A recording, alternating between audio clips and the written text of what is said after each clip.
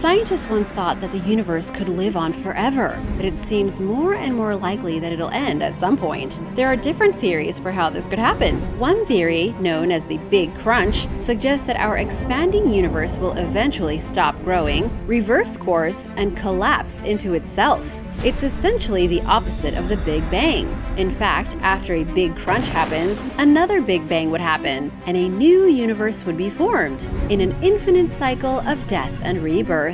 A more recent theory, called the Big Freeze, proposes that the universe will continue to drift apart like it is now, until galaxies and stars stop forming.